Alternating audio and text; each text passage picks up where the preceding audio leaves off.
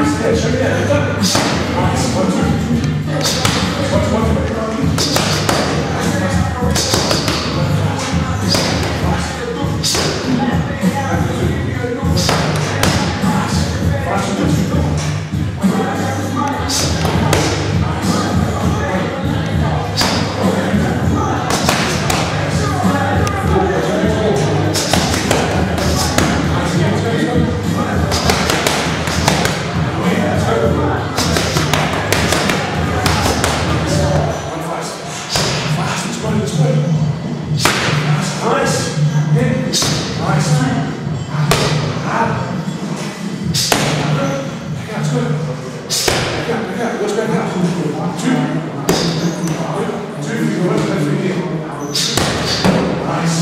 Let's